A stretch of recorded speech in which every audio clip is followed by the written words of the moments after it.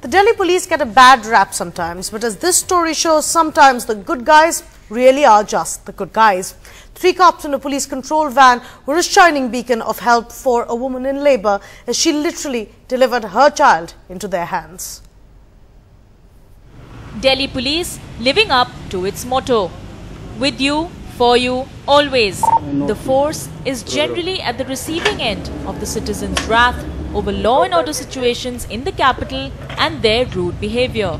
But Saturday night was different. Surajmukhi and Pradeep are all praise for the Delhi cops. They were expecting their first child. And these men in khaki turned out to be real saviors, if not literal midwives, on the fateful night. Three men were थे और तीन ही फिर जा रहे थे तो रास्ते में मतलब जो है इसका रोने की आवाज़ आई रास्ते में ही इसका जन्म हो गया था। Displaying an extraordinary sense of timing and initiative, it was one of those rare occasions when one got to see the humane face of Delhi police. तो हमने अपनी गाड़ी में बैठाया उनको और संजय गांधी हॉस्पिटल के लिए जो ही चलने लगे। दो चार मिनट चले हो गए।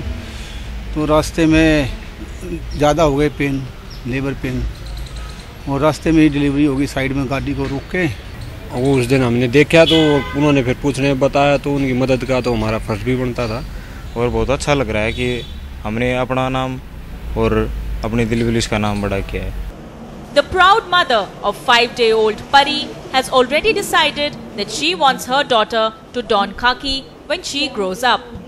कोशिश तो यही है कि बड़े होकर पुलिस में IC officer With you, for you, always. These three personnel have lived up to the motto of Delhi Police, proving that they are adept at not only handling a crisis, but that they also care for people. With Prasad, Akansha Kumar for NDTV.